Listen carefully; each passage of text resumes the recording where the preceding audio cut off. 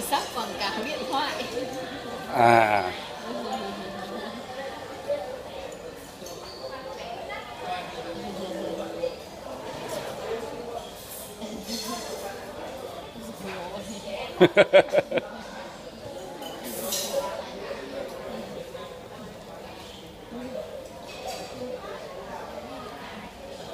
có mẹ đau bụng không?